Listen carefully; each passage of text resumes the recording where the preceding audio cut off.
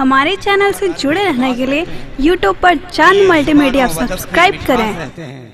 مجھے بھی ان کا پڑوسی بنا دے اے مولا جو لوگ شہر مدینہ کے پاس رہتے ہیں۔ مجھے بھی ان کا پڑوسی بنا دے اے مولا جو لوگ شہر مدینہ کے پاس رہتے ہیں۔ مدینہ شریف کی آواز مدینہ شریف کی تعریف و توصیف مصطفیٰ کی تعریف اور بہت عمدہ انداز میں اپنے فکر اور خیالات کا امامہ آپ کے سر باندھ رہے تھے۔ محترم شاعر اسلام جناب شہباد رضا نوری کلکتوی، واقعی مجھے احساس ہو گیا کہ اچھی شاعری اس علاقے میں جب پڑھی جائے تو سننے والوں کا دل کا دروازہ کھل جاتا ہے۔ تو گھبرائیے گا مت، ٹینشن بھی نہیں لیجیے گا کہ جب دل کا دروازہ اگر آپ کا کھل جائے گا نبی کے لیے تو مجھے یقین ہے مرنے کے بعد آپ کے لیے بھی جنت کا دروازہ کھل جائے گا۔ سمجھ رہے ہیں؟ اس لیے یہاں بیٹھنا معمولی بات نہیں ہے، یہاں وہی بیٹھتا ہے جسے مصطفیٰ بیٹھاتے ہیں۔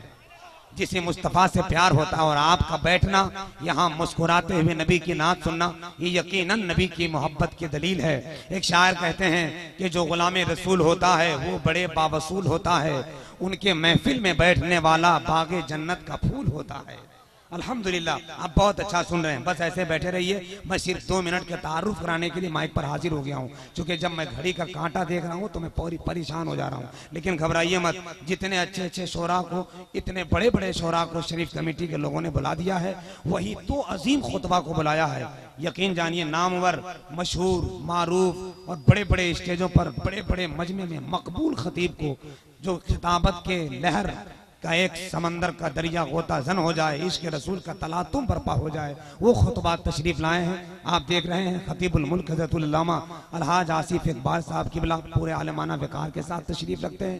شاعر ایزی وقار، قادر الکلام، زودگو شاعر، شہنشاہ ترنم، شہنشاہ نغمات، حضرت الحاج مبارک حسین مبارک، جن کی شاعری شاعرانہ کھنک کو اس وقت پوری دنیا تسلیم کر رہی ہے، تشریف رکھتے ہیں اور آپ کے علاقے کے جان و شان، جھارکھنڈ کی ایک پہچان، پورے ہندوستان میں نبی کے نات یا شاعری کے عشق کا سوغات کا لے کر بھڑمڑ کرنے والا ایک شاعر حضرت فیضان رضا بنارسی سمہ پلاموی بھی بیٹھتے ہیں۔ انشاءاللہ ان کا بھی کلام ہوگا۔ آپ ادب کے ساتھ بیٹھیں اور پھر آپ کے علاقے میں مذہب و مسلک مسلک کی بے پناہ خدمات انجام دینے والے ایک عظیم شاعر شاعر اسلام استاد شورا حضرت قاری راحت حسین صاحب قبلہ بھی انشاءاللہ کسی موقع سے ان کو بھی کلام پڑھنا ہے اور آپ کو سننا ہے۔ جلسہ وہ ٹھیک پوزیشن پہ چل رہا ہے۔ اس وقت میں صرف حضرت مبارک حسین مبارک سے کمل شہباز رضا نوری کو جو میں نے پڑھوایا، مصرے بہت اچھے تھے۔ بات مدینہ شریف کے چلی ہے۔ میں نے بھی پاسپورٹ بنوا لیا ہے، آپ بھی بنوا لیجیے۔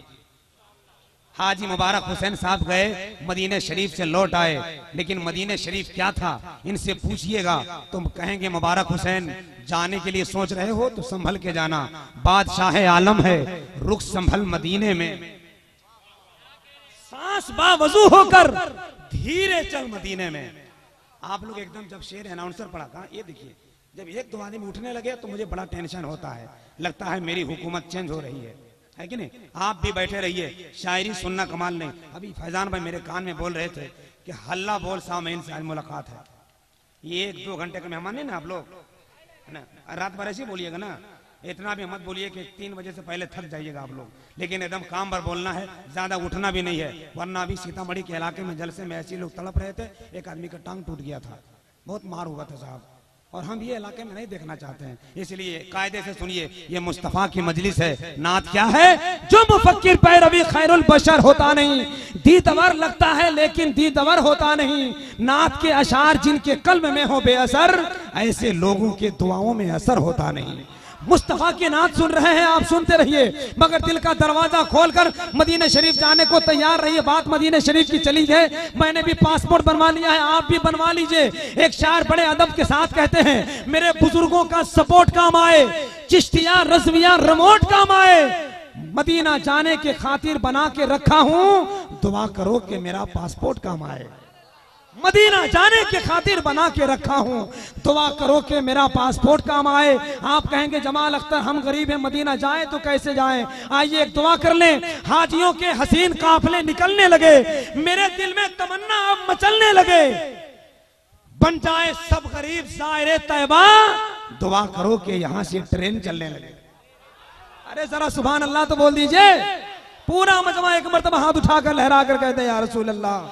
حضرات اس وقت آئیے، چونکہ نعتیہ شاعری کا جام پی لیا، تین شعرا کو بچا کے رکھا ہوں۔ چونکہ تقریر کے بعد نعت خانی نعت خانی کے بعد تقریر، یہی جلسے کی کامیابی کی علامت ہے۔ اس وقت میں چاہتا ہوں خطیب الملک سناجت الہند، حضرت العلامہ الحاج آصف اقبال صاحب کی بلا کی بارگاہ میں۔ رات کے دس بجے یا رات کے ساڑھے تین بجے، اس شخص کو اناؤنسر جب بھی استعمال کرتا ہے، مجمع میں فٹ ہو جاتے ہیں۔ جلسہ ہٹ ہو جاتا ہے۔ اور واقعی آپ نے جو شریف کمیٹی نے ایسے ایسے علماء خطبہ کو بلایا ہے، ایک حضرت تشریف رکھتے ہیں، دوسرے حضرت حجرے میں آرام فرما رہے ہیں۔ معطر ذیشان خطیب اعظم ہندوستان چترویدی جی مہان، حضرت علامہ علاء الدین صاحب کی بلا چترویدی دھنباد، جھارکھنڈ، ان کا بھی خطاب سنیے گا تو لگے گا کہ واقعی آج پورا ہندوستان کی دھڑکن سرزمین چندرپورہ میں آ گیا ہے۔ آئیے استقبال کر لیجیے، ہاتھ اٹھا کر حضرت کا استقبال کر لیں۔ پہلے سے ہم لوگ اٹھائیے۔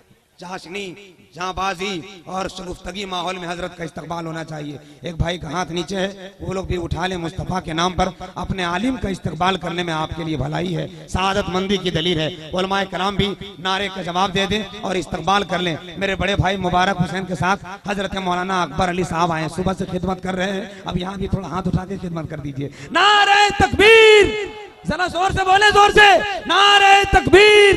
نعرہ رسالت! مسلک اعلی حضرت، علماء اہل سنت، نعرہ تکبیر، نعرہ رسالت، بس ان دو مصروں کے ساتھ حضرت کو آواز دیں۔ چھٹ جائے گا اندھیرا، ہو جائے گا روشن۔ اس صاحب کردار کو وانے تو دیجیے۔ منکر نکیر آپ کو مل جائے گا جواب، پہلے میرے سرکار کو وانے تو دیجیے۔